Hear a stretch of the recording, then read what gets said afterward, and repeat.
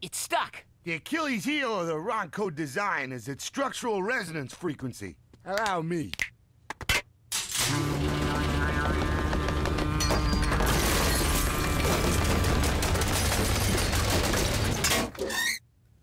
There we go.